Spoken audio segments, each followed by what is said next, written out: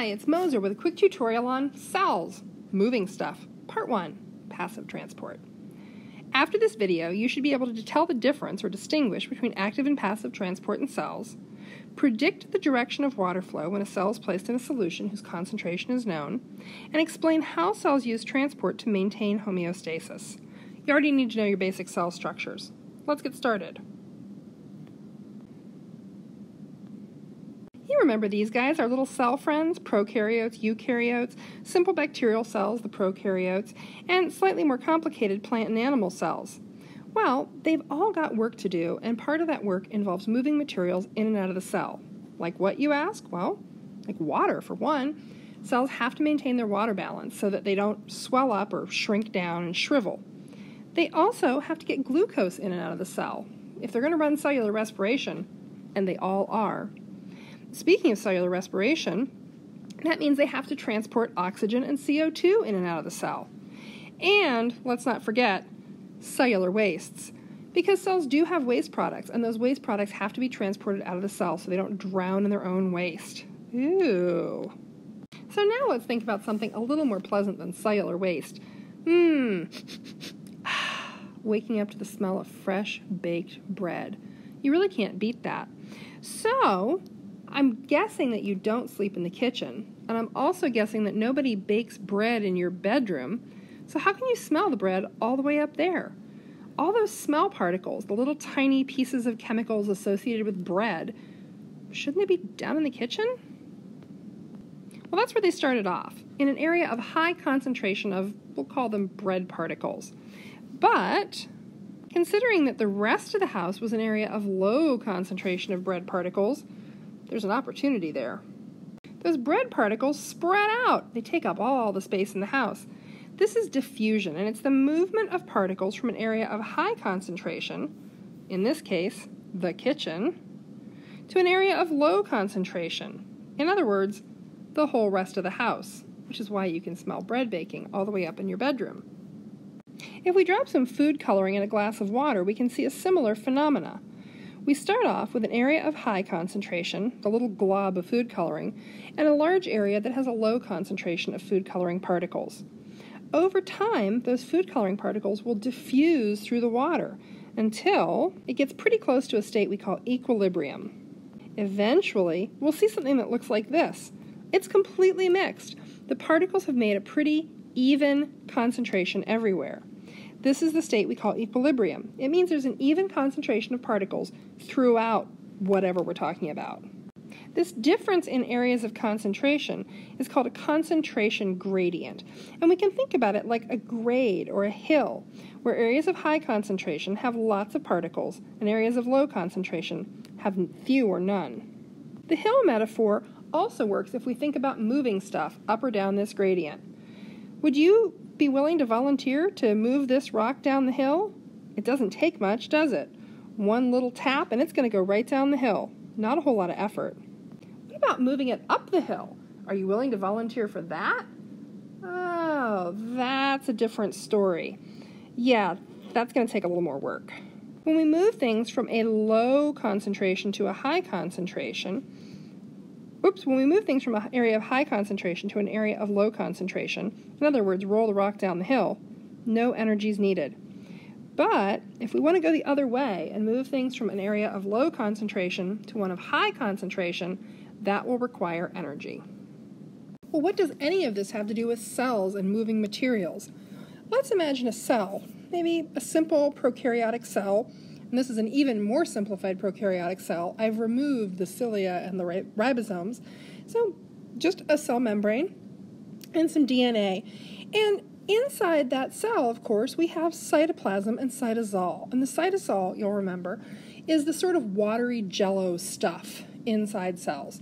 Now, there are also little particles, there's glucose, all those things, the oxygen and carbon dioxide, cellular wastes, that cells have to keep balanced.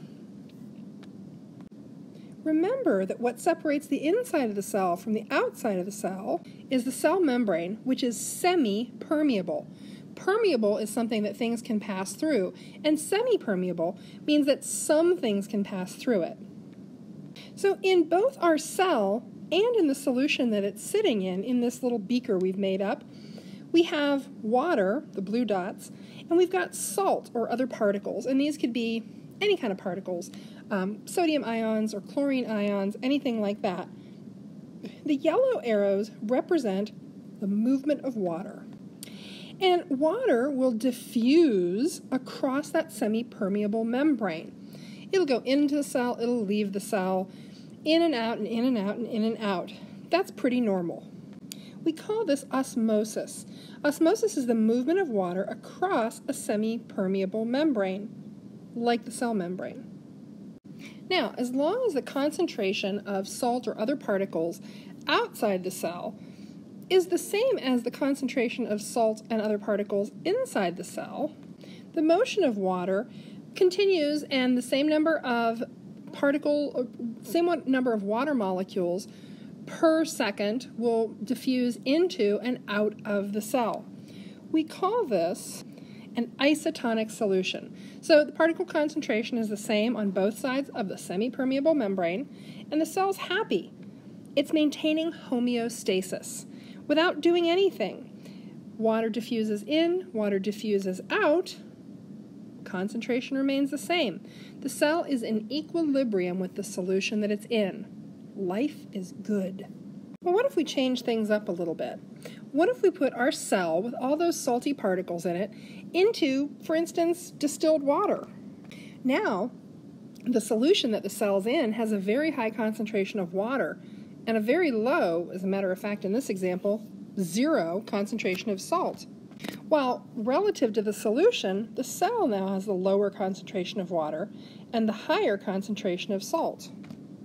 We call this a hypotonic solution. The particle concentration is lower in the solution than it is in the cell. What does this mean for the movement of water? Ooh, I'm glad you asked. Water will still diffuse in and out of the cell across the semi-permeable membrane, but the rates of diffusion will not be equal. Far more water is going to diffuse into the cell. Hmm, does this seem like there might be a problem? Sure enough, if we put a cell in a hypotonic solution, one where the particle concentration is lower outside the cell, the cell will actually burst. We call this lysis. It's cell rupture. It's not a good thing. So, what if we turn the tables? What if we place our cell in a situation where the solution that it's sitting in has a lower concentration of water and higher concentration of salt than the cell itself? This means that now the higher concentration of water is inside the cell. This is called a hypertonic solution, where the particle concentration is higher in the solution than in the cell. What does this mean for water movement? Well, as before, we'll still see water diffusing in and out of the cell, but once again, the rates are not going to be equal. It's as though water is charging into the area that has the higher concentration of particles, not water, the salt, whatever. And what happens is a net flow of water out of the cell. That's not good. As a matter of fact, if we place a cell in a hypertonic solution, it'll shrivel up until it looks like, mmm, cell jerky. Ew. This is actually why salting meat is how we make jerky. We pull water out of those cells. Oh, that makes sense. Okay, so we know about osmosis, about moving water in and out of the cell. That's able to travel right across the cell membrane. But don't we have other stuff we have to move in and out of the cell? Indeed, we do. The funny thing is that if you look up close and real personal at a cell membrane, you'll find that it's not quite what you think. You might think it's like a layer of a plastic bag or a piece of tinfoil. In fact, it's made up of two layers of what are called phospholipids. Lipid means fats, and these are actually, well, fat molecules. They're all lined up with their little heads facing outward and their little tails facing inward. We call this the phospholipid bilayer. Remember, bi means two. So, interspersed in this whole little arrangement of phospholipids, well, we find these weird structures made of protein. First, let's talk about the environment the cell's in. There are other particles than water that need to move in and out of the cell. Here I've got some big green blobs. These could be salt particles, ions, we don't really know. But obviously, inside the cell, we have a lower concentration of ions than we do outside the cell. That's where these weird structures come in. Those weird structures are, in fact, proteins. They're called ion channels, and a channel is just a way to get through something.